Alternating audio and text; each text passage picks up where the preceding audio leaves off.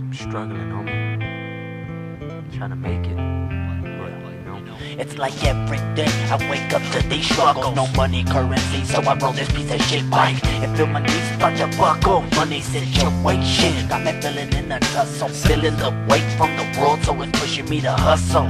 I got to make that paper. It's just for little wet dubs It seems time flies by Pumping aerosol slugs other day. I turned 21 It feels like yesterday. I wish I could go back. So with my big bro No, put them 20s on the lag Responsibility I swear it got me by the balls.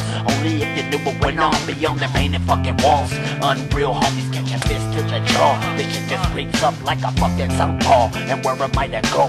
What am I to do?